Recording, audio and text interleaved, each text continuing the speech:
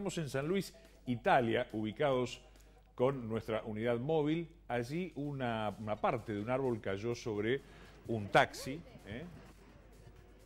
Y bueno, ahí se ve rota la luneta trasera del ¿Qué tal, del Leo? Muy ¿Qué buenos tal? días para Buen día. todos. Ocurrió a las cuatro y media de la madrugada eh, aquí en la zona de San Luis e Italia. Venía circulando un taxista con pasajeros cuando de pronto un árbol se le cayó Estamos con Gabriel, que es el conductor del vehículo. Contanos cómo fue este episodio. Buen día. ¿Qué tal? Buen día.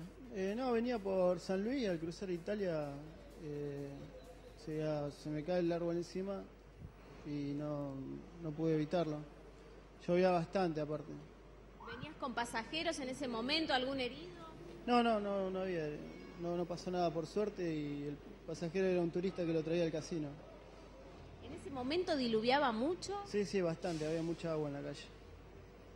Eh, no, por suerte no pasó nada, pero se rompió todo el taxi y, y ahora vamos a ver qué, qué va a suceder.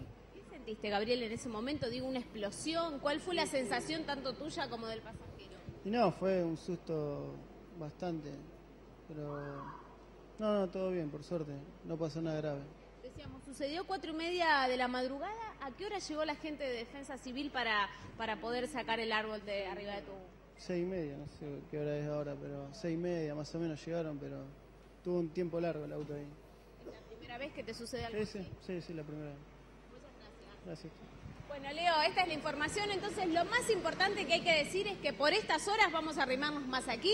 En este preciso instante acaba de quedar el tránsito liberado en la zona de San Luis e Italia. Recordemos, el accidente fue alrededor de las 4.30 de la madrugada. Lo más importante es que no hay ninguna persona herida. Para destacar, hay una cantidad de mosquitos en Sí. esta zona que, como verás, estamos intentarnos, intentando sacarlos del rostro porque se quieren meter por todos lados y la verdad que pica. Lo más importante de todo entonces de este accidente, no hubo heridos. Muy bien, muchas gracias Belén. Completo el informe. Esto pasaba en San Luis e Italia, allí a las cuatro y media de la mañana.